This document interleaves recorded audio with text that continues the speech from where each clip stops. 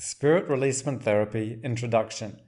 When people approach the subject of spirits and their releasement, there tends not to be a lot of middle ground.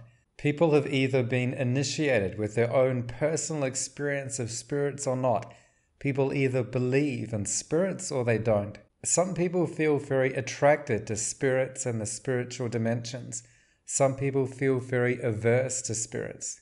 For those that do believe in spirits, there are many forms of belief within this, and many different styles to the releasement of spirits. There are many cultures around the world that believe in spirits, and there are many people that believe spirits are affecting their daily life. Some of these people may come to you as a client and ask you to work with their inner world according to their beliefs and model of the world. Dealing with these events can be a significant part of resolving the issues of these people, and they may bring it to you as a therapist as their primary presenting issue. In other cases, spirits may spontaneously interrupt your therapy sessions. Your client may suddenly make unusual movements, unusual noises, speak in an unusual voice, or when they do talk, it can appear to come from the perspective of an external entity and it may claim that it's an external entity. When this happens, it may not fit into the beliefs or model of the world of the client or the therapist at that time, but it may emerge as being the real issue that the client brought to the therapist.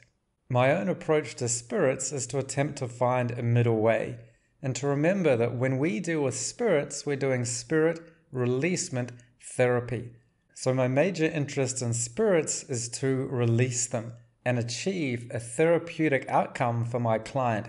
So, for me, this middle way means not running towards spirits and being attracted or overly interested in them, but also not running away from spirits, not being afraid of them or not discounting them and disbelieving and discrediting them because they don't initially fit within a model of reality that I may hold at a certain time.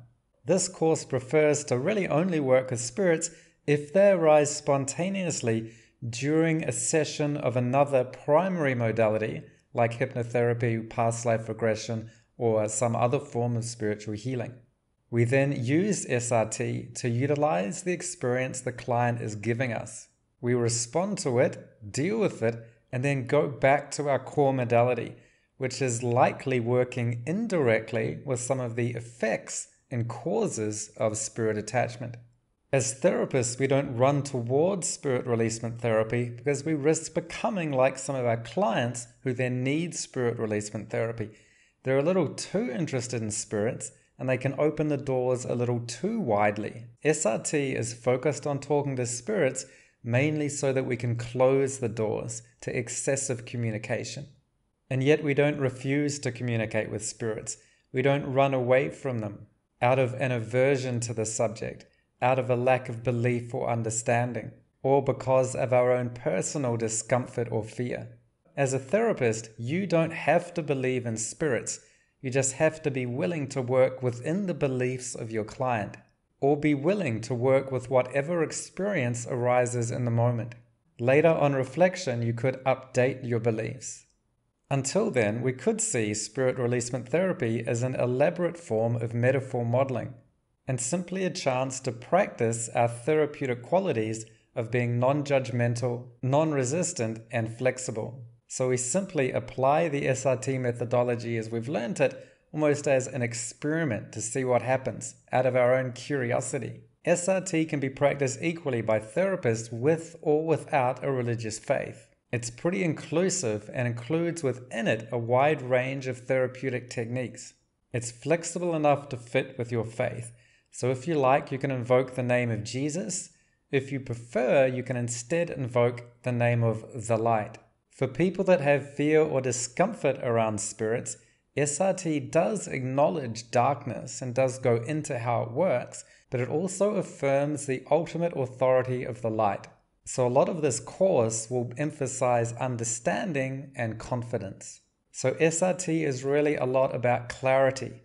It's a lot less about fighting evil spirits and more about enlightening ignorant spirits. You may only need to do spirit releasement therapy very rarely in your career, or you may only experience it briefly in your life. And yet, these short times may be some of the most influential times of your life. So, it's best to be prepared to recognize them when they come and be able to deal with them and get the most from them when they do arise. My own journey began 20 years ago. At that time, I had no interest in spirits, but external events compelled me to explore their reality. It was those events and the process after of integrating it into my life that led me to make many changes and set me on the course to become a healer. So, all the work that I've done in hypnotherapy and past life regression and NLP has been motivated and initiated by my first experiences with spirit releasement therapy. This course can help you digest and manage your own experiences or your clients' experiences if they've already happened, or it can prepare you for the shock that may come if and when it does happen in future.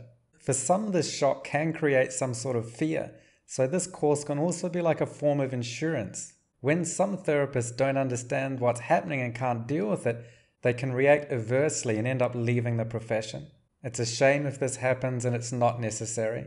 There are ways that we can deal with it so it becomes a big positive for our healing career and our personal development. If you're not a therapist or don't intend to become a therapist, this course could still help you understand and integrate some experiences you may be having or have had, or that your loved ones may have been having or had so you can understand it yourself and maybe help them with their experiences.